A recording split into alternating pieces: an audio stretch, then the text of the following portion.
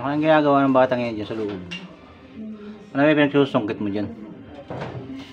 Ooh! Hmm, ito ang ano, pagod na pagod. Yan mga kus. Kaya ang forma na yan oh. Ano pinagagawa dyan sa loob ng bahay? Tingting ng kuting. Babangaw na naman oh. ah ah, ano na?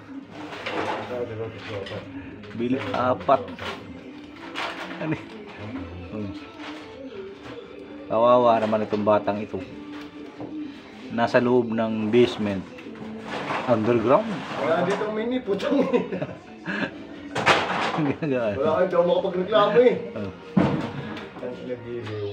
Ah. Ah, ah. Oh. Ayun. Oh.